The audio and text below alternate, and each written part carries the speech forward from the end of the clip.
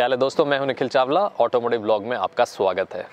आज हम जिस व्हीकल की बात कर रहे हैं, वो बस चलती ही जाए, चलती ही जाए और चलती ही जाए। बिकॉज़ इसकी माइलेज है छब्बीस पॉइंट अड़सठ twenty six point six kilometre per litre. नहीं, मैं किसी बाइक की बात नहीं कर रहा हूँ, मैं बात कर रहा हूँ एक गाड़ी की। और ये है वो गाड़ी, Maruti Suzuki Celerio new S Celerio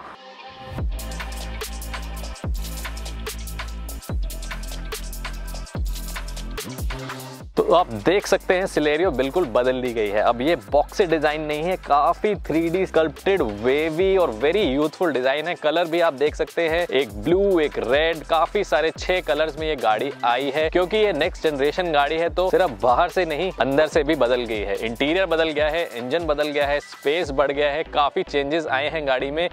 तो वेट किसकी करनी है? चेक करते हैं, क्या बनाता है इसको India most fuel efficient car और क्या है इसकी कीमत? मारुति जाना जाता है, देती कितना है के लिए? बट ये नहीं है कि सिर्फ़ माइलेज ही है मारुति के दिमाग में और वो कस्टमर को सिर्फ़ माइलेज से ट्रैक करना चाहते हैं। गाड़ी लुक्स में बहुत अच्छी है 12 नए सेफ्टी फीचर्स भी ऐड किए गए हैं। जी हाँ अगर हम बात करें तो हिल असिस्ट और ये safety features auto cut off ABS, EBD ये सारे फीचर्स डुअल एयर बैग सब चीज़ों का ध्यान रखा गया है। तो मारुति ने ओवरऑल चेंज किया है ना सिर्फ़ इस गाड़ी को बट एक थीम को जैसे कि अब वो यूथफुल इस गाड़ी को प्रेजेंट कर रहे हैं। इसका मतलब ये नहीं कि सिर्फ़ यूथ के लिए गाड़ी है ये गाड़ी सबके लिए है बट काफ़ी एनर्जेटिक यूथफुल अप्रोच है गाड़ी के। इसके अंदर भी इंडिया में ए आई थी पहली जनरेशन सिलेरियो के साथ। एक मैनुअल ट्रांसमिशन में आप ये गाड़ी ले सकते हैं और ऑटोमेटिक मैनुअल ट्रांसमिशन में भी ले सकते हैं। मैनुअल गाड़ी कैसे चलती है ए कैसे चलती है? दोनों गाड़ी हम चला चुके हैं और दोनों के बारे में अब हम बात करने वाले पहले डिज़ाइन की बात कर लेते हैं। डिज़ाइन अपफ्रंट बिल्कुल चेंज है। लाइटें राउंड है स्कल्प्टेड है बोनेट भी वैसा है। ग्रिल काफ़ी नई है फॉग लैम्प है बिकॉज़ ये टॉप मॉडल है और इसको आप, आपको हेडलैम्प्स मिलते हैं डीआरएल्स नहीं है बट अगर आप देखें तो काफ़ी डिज़ाइन क्यूज लिए गए हैं जो इनके हॉट सेलर कार है स्विफ्ट से। तो साइड की बात करते हैं, साइड से भी बिल्कुल बदल जी गई है गाड़ी, आप देख सकते हैं। तो ये टॉप मॉडल है तो आपको इतने अच्छे smoke grey black alloys wheel मिलते हैं और साथ में आपको मिलते हैं एक सौ पिछहत्तर बाय आर पंद्रह टायर आपको ये कर्व दिख रही है, आग दिख रही है फेंडर पे जो दी गई है, काफ़ी इसको डिफ्रेंशिएट करती है बाकी गाड़ियों से। ये जो ओ आर है इंडिकेटर इंटीग्रेटेड है साथ में ऑटो फोल्डिंग है और अंदर से ही कंट्रोल है, जो बहुत अच्छी चीज़ है। स्पेसिफिकली इस सेगमेंट के लिए कीलेस एंट्री है तो आपको एक बटन मिलता है। अगर गाड़ी की चाबी आपके जेब में है तो आप बटन दबाइए, जो दोनों तरफ़ मिलता है को पैसेंजर साइड पे भी ड्राइवर साइड पे भी। चाबी लगाने की जगह भी दी गई है। अगर आपकी चाबी में बैटरी खत्म हो जाती है तो आप आराम से चाबी लगा के जा सकते हैं। और पीछे से अगर आपको बूट खोलनी है तो उसमें भी बटन है। तो कीलेस एंट्री होने के फ़ायदे आपको पूरे भरपूर मिलते हैं इस गाड़ी में। फिर हम बात करें तो साइड पे काफ़ी कर्वी डिज़ाइन है। मैंने शायद ही देखा हो, गाड़ी में इतनी कर्व डाली गई हो। बिल्कुल वेवी है। ऊपर से शुरू होता है वेव आती है, फिर अंदर जाता है, फिर वेव बाहर आती है। काफ़ी नाइस डिज़ाइन है। अब ये नहीं पता ये एरोडाइनमिक्स के लिए किया है इससे माइलेज इंप्रूव होती है, किस लिए किया है बट बहुत अच्छा लग रहा है और डिफरेंट लग रहा है। फिर हम बात करते हैं पीछे की, अगर आप आए तो विंडो पेन काफ़ी बड़ी है पीछे वाले पैसेंजर के लिए। जी हाँ इसमें आपको विंडो पेन काफ़ी बड़ी मिलती है बट जैसे कोई डिवीज़न होती है रियर क्वार्टर पैनल ग्लास होता है, वो नहीं है, क्योंकि एक सिंगल ग्लास पेन ही काफ़ी बड़ी है। जैसे इजी एक्सेस और एग्जिट के लिए कितने ज़्यादा इसके डोर खुल जाते हैं। ऑलमोस्ट 90 डिग्री तक, आप समझ लीजिए, खोल सकते हैं। तो उससे क्या होता है कि इजीली आप अंदर जा सकते हैं और इजीली एग्जिट कर सकते हैं। कई गाड़ी में होता है कि काफ़ी कम डोर खुलते हैं बट इसमें काफ़ी बड़ा एक्सेस मिलता है आपको डोर्स के थ्रू अब चलते हैं पीछे और बात कर लेते हैं गाड़ी में पीछे क्या चेंज है। तो पीछे जाने से पहले मैं आपको ये बताना चाहता हूँ, जो आगे आपको फेंडर पे कर्व थी, जो आग थी, वो पीछे भी मिलती है आपको। वो डोर से शुरू हो जाती है रियर वाले। और बिल्कुल ऑलमोस्ट बम्पर तक जाती है। तो ये काफ़ी अच्छा है। अगर आप लाइट्स की बातें करें तो पीछे बिल्कुल चेंज हो चुकी है। Again very rounded sculpted boxy चला गया है।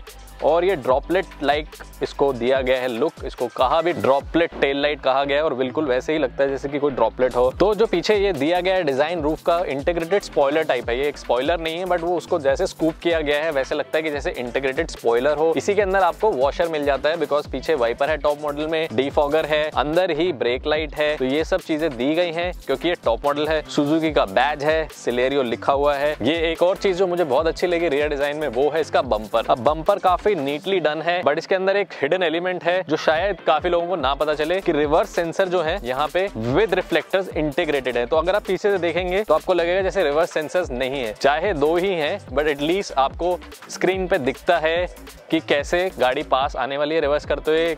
बीप बचती है और आपको पता चल जाता है रिवर्स करते हुए। तो टॉप मॉडल में ऐड किया गया है रिवर्स सेंसर गाड़ी के लेफ़्ट साइड पे मिल जाता है आपको फ्यूल टैंक जहाँ से आप फ्यूल भरवा सकते हैं। और ये ऐसी चीज़ है इस गाड़ी की जो आपको सबसे कम यूज़ करनी पड़ेगी बिकॉज़ इसकी माइलेज है 26.68 तो ये फ्यूल इनलेट है, उसको शायद ही आपको कभी कभी खोलना पड़े, क्योंकि कल से हम ये गाड़ी चला रहे हैं, भगा रहे हैं, दौड़ा रहे हैं। फ्यूल की सुई नहीं हिली है। सुई क्या, इसमें तो डिजिटल मीटर्स हैं, जो डिजिटल रिप्रेजेंटेशन है, फ्यूल की वो वहीं की वहीं है, वो हिल नहीं रही है। 20 किलोमीटर पर लीटर हमें आराम से दे रही थी गाड़ी को टेस्टिंग मोड में, जिसे हम एक्सप्लॉयड करते हैं टेस्ट करते हैं। उसमें भी हमें 20 किलोमीटर प्रति लीटर मिल रहा था।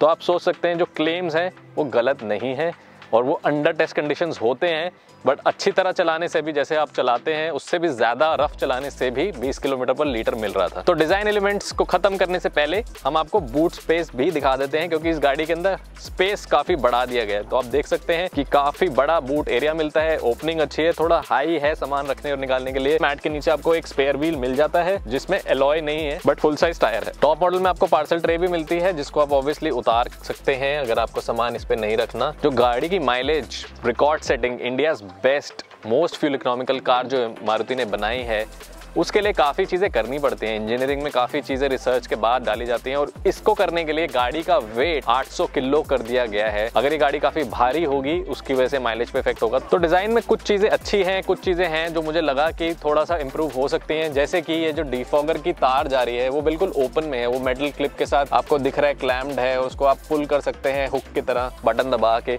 तो थोड़ा सा रिस्की है, जैसे कोई बच्चा पीछे बैठा हुआ है सीट पे तो खींच सकता है। और इसको तोड़ भी सकता है पूरे एलिमेंट को। तो अगर ये कवर्ड होता है इनबिल्ट ही तो थोड़ा बेटर रहता। ये थोड़ा सा मुझे रिस्की लगा है। तो बाकी ये थी डिज़ाइन की बातें। बिल्ड क्वालिटी की बात हम करेंगे ड्राइव करते हुए। सस्पेंशन कैसी है माइलेज की तो हम टेस्ट कर ही चुके हैं। ये सब चीज़ें हम चेक करेंगे और क्योंकि हमने दोनों ट्रांसमिशन चला ली है तो अब चलते हैं अंदर। इंटीरियर की बात करते हैं और फिर करेंगे गाड़ी को ड्राइव तो इंटीरियर की शुरुआत करने से पहले मैं आपको एक चीज़ बताना चाहता हूँ कि इसमें आपको दो लेवर दिख रहे होंगे। एक हाइट एडजस्टिंग के लिए है और दूसरा जो है सीट को रिक्लाइन करने के लिए है। तो हाइट एडजस्टिंग वाले से आप इसकी जो व्यू है और इम्प्रूव कर सकते हैं बिकॉज़ काफ़ी ऊँची हो जाती है सीट आप देख सकते हैं कि आप पंप करके कितनी ऊपर सीट को ला सकते हैं। काफ़ी हाइट बढ़ा सकते हैं और उससे आपको बोनेट पूरा दिख रहा है गाड़ी का। तो इतना अच्छा व्यू मिल जाता है। अब हमने सीट को फुल राइस कर लिया है, जितना कर सकते हैं। अब हम गाड़ी का डोर बंद करेंगे और आपको दिखाएँगे इंटीरियर के बारे में।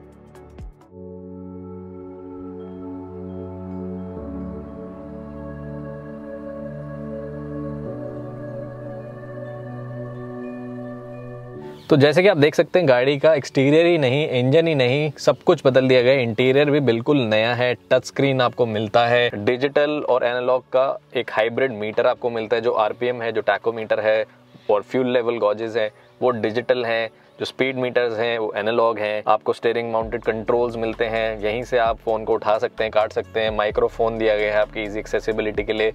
दो एयर बैग है एसी वेंट चेंज है। आपको सेंटर में ही सारी ड्राइव का कंट्रोल मिलता है, जैसे कि आपको गाड़ी को लॉक अनलॉक करना है पावर विंडोज़ ड्राइवर को पैसेंजर की कंट्रोल करनी है डोर्स पे नहीं है एक्सेस सेंटर में ही है। अगर आप बहुत सालों से गाड़ी चला रहे हैं तो आपका जो हाथ जाएगा हमेशा शीशा नीचे करने के लिए, इधर ही जाएगा। तो आपको आदत डालनी पड़ेगी कि यहाँ से कंट्रोल होता है। अगर आप फ़र्स्ट टाइम कार बाहर हैं तो आपको टाइम नहीं लगेगा आदत डालने में पावर विंडोज़ को, क्योंकि आपको यहीं से आदत पड़ जाएगी। बट जो यूजुअल कार ड्राइवर्स हैं लवर्स हैं, उनको फ़र्क पड़ता है, क्योंकि उनकी हैबिचुअली हाथ यहीं जाता है जो डोर्स पे एक्सेस करने के लिए, वो इसमें नहीं है। तो जो टच स्क्रीन मिलता है, उसका interface in a way dependent है स्मार्टफ़ोन पे और सुजुकी कनेक्ट ऐप पे। Once you connected that phone क्योंकि ये टेस्ट व्हीकल है तो हमें एक फ़ोन मारुति ने साथ में लगा के दिया था एंड्रॉइड फ़ोन जिसके अंदर यूएसबी ऑक्सपोर्ट से तार को लगा के हमें एक्सेस मिल गया था काफ़ी सारे कनेक्ट फीचर्स का, जैसे कि स्मार्ट असिस्टेंट है जो आप यहाँ से लॉन्च कर सकते हैं। बट उसको लॉन्च करने के लिए आपको ए एच ए ऐप को लॉन्च करना पड़ेगा पहले। आपको सुजुकी कनेक्ट के साथ काफ़ी सारे और फीचर्स मिलते हैं, जैसे कि स्पोर्ट्स पॉडकास्ट गाना प्रीमियम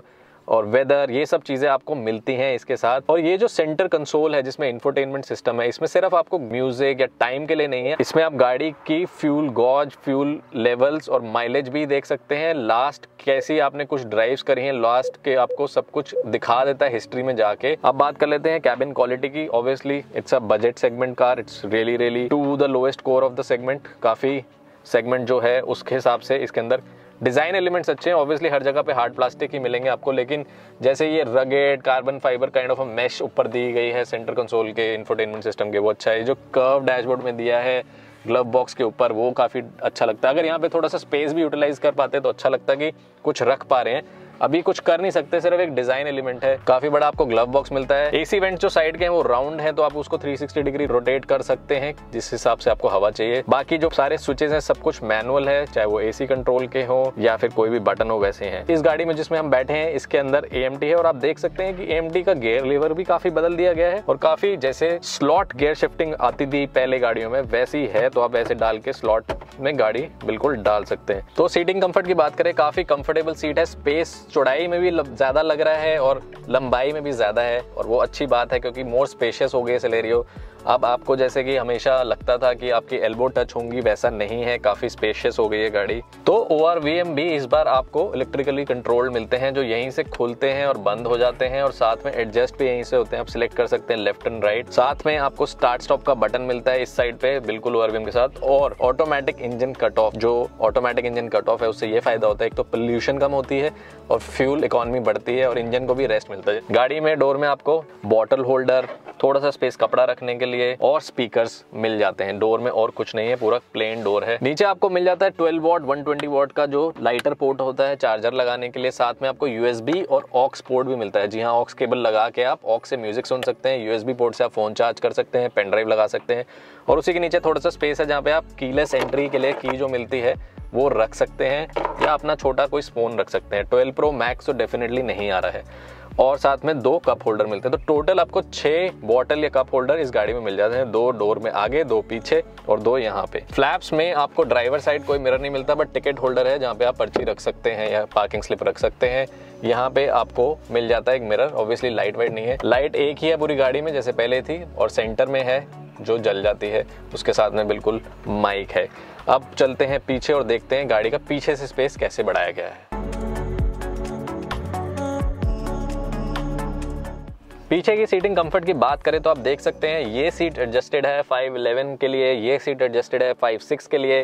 कितना लेग रूम नी रूम और फुट रूम आपको मिलता है। आई I मीन mean, काफ़ी ज़्यादा बिल्कुल पैर सीधे करके भी बैठ सकता हूँ। हेडरेस्ट इंटीग्रेटेड है तो काफ़ी कंफर्टेबल है। सॉफ्ट हेडरेस्ट है। सेंट्रल टनल जो है आपको काफ़ी फ्लैट मिलती है तो तीन लोग आराम से बैठ सकते हैं। काफ़ी जगह दी गई है गाड़ी में। ऐसा नहीं है कि आप फंस के बैठेंगे। अगर आप तीन लोग बैठते हैं पहले वाली गाड़ी से काफ़ी खुली लगती है क्योंकि फ़र्स्ट वाली में दो लोग आराम से बैठ सकते थे, तीसरे को थोड़ा स्क्वीज इन होना पड़ता था। इसमें आई थिंक आराम से बैठ सकते हैं। एवरेज बॉडी बिल्ड तीन लोग। जैसे कि आगे के डोर में सिर्फ़ आपको डोर हैंडल था और लॉक था, वही है यहाँ पे भी। स्पीकर है डोर हैंडल है और बॉटल होल्डर है और एक छोटा सा टिकट होल्डर है और कुछ नहीं है। पावर विंडो का कंट्रोल आपको यहाँ मिलता है सेंटर में। तो दोनों साइड के लिए आपको यहीं से करना पड़ेगा। ये 60 40 स्प्लिट सीट्स हैं तो आप आधी फोल्ड कर सकते हैं। यहाँ से सिर्फ़ एक लीवर उठा के और बाकी को आप बंद रख सकते हैं। तो 60 40 से ये फ़ायदा होता है कि आपको अगर थोड़ा सा स्पेस चाहिए तो आप एक साइड डाउन करिए, पूरा स्पेस चाहिए तो सारी डाउन कर सकते हैं। और वैसे भी काफ़ी अच्छा बूट स्पेस है और एक्सपैंड कर सकते हैं आप, जैसे आपको चाहिए। और काफ़ी ईजी है बटन दबाते ही नीचे आ जाती है। Obviously arm rest and all नहीं है, ये वो सेगमेंट की गाड़ी नहीं है। तो कंफर्ट अच्छा है, अगर हम बात कर लें तो थाई के लिए सपोर्ट थोड़ा सा कम है बट बाकी सब कुछ ठीक है। सीट मैं कह सकता हूँ, थोड़ी अपराइट है, थोड़ा सा और मिल जाता टिल्ट एंगल तो अच्छा था but again very soft seats and similar to the soft suspension this car है अब बात कर लेते हैं ड्राइव की, क्योंकि हमने सस्पेंशन छेड़ दी है।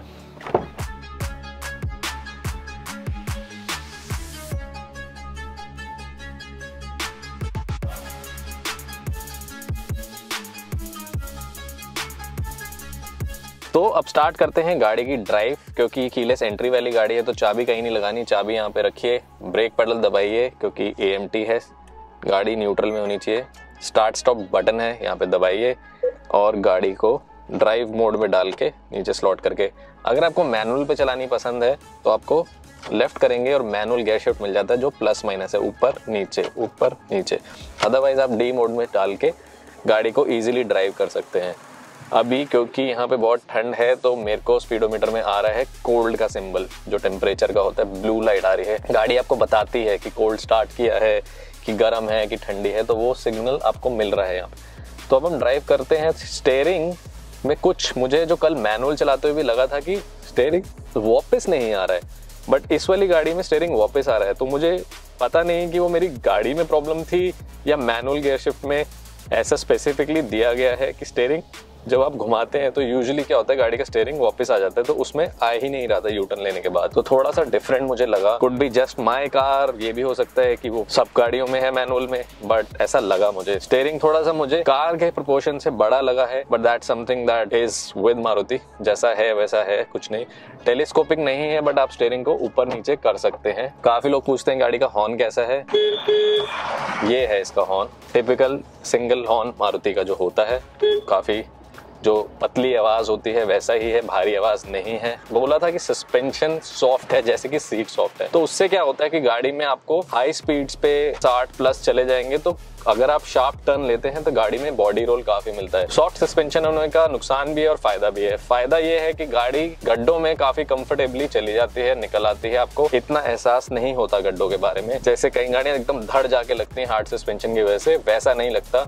काफ़ी स्मूथली गाड़ी एकदम से निकल जाती है गड्ढों से। उसका डाउन पॉइंट है सॉफ्ट सस्पेंशन का वो है कि बॉडी रोल काफ़ी मिल जाता है गाड़ी में। ये क्योंकि नया इंजन है, नए प्लेटफॉर्म पे बेस्ड है तो उसकी वजह से क्या है कि गियर शिफ्ट बेटर हो गया। पिछला जो एम था, जो फ़र्स्ट जनरेशन एम था India first M car Celerio उसमें थोड़ा सा आपको चढ़ाई चढ़ते हुए लैग लगता था। कई बार आपको मैनुअल में डाल के गियर करना पड़ता था शिफ्ट इसमें इंप्रूवमेंट्स है। But I think it can still be better ऐसा नहीं है कि बिल्कुल एकदम बेस्ट हो गया है अभी भी। इसको और इम्प्रूव कर सकते हैं डिपेंड करता है। ड्राइविंग पे भी डिपेंड करता है। थोड़ी चढ़ाई चढ़ते हैं, देखते हैं कि गियर शिफ्ट कैसे करता है। अभी ये है सेकंड गियर पे और हम हैं दो आरपीएम पे। तीसरी गियर डल गई है जो नहीं डलनी चाहिए थी एकदम चढ़ाई से और एकदम से ही वापस भी आ गई है सेकंड गियर पे। तो थोड़ा सा वो लगता है मुझे अभी भी लैग है और चढ़ाई के मामले में आपको कई बार शायद मैनुअल डालनी पड़ जाए चढ़ाई चढ़ते हुए। तो वो चीज़ें हैं जो आपको ध्यान में रखना है कि कुछ चीज़ों में आप शायद ना हो गियर शिफ्टिंग से खुश, जो गाड़ी खुद करती है तो उसके लिए आपको मैनुअल में डालना पड़ेगा और आप कर सकते हैं इजीली खुद। उसको कंट्रोल वैसे ड्राइविंग में मैनुअल जो ट्रांसमिशन है, जो कलम ने चलाई, काफ़ी मज़ा आया चलाने में रिस्पॉन्सिव है. Other than the body roll काफ़ी स्ट्रीमलाइन हो गया है, काफ़ी इंजन रिफाइन हो गया जैसे कि शोर नहीं आएगा, अब थोड़ा सा एक्सिलरेट करेंगे. हमने कल उसको पाँच, छह आरपीएम तक आराम से गियर शिफ्टिंग करी है तो ब्रेकिंग अच्छी है इम्प्रूव्ड है डेफिनेटली बट वही है कि ए अभी और इम्प्रूव हो सकती है। It's got be more refined than what it is right now much more improve than the previous generation but still not up there मतलब कि अभी भी आपको मैनुअल में कंट्रोल डालना पड़ेगा आपको गाड़ी को स्मूथली चलाने के लिए। ऐसा नहीं है कि आप बिल्कुल डिपेंडेंट हो सकते हैं एएमटी की ट्रांसमिशन शिफ्टिंग पे। A transmission takes the pain of आपको बार बार गेयर शिफ्ट नहीं करनी क्लच नहीं दबानी, कुछ नहीं करना। सब कुछ गाड़ी आपके लिए करती रहती है स्पेशली ट्रैफ़िक सिचुएशंस में। काफ़ी अच्छा काम करती है।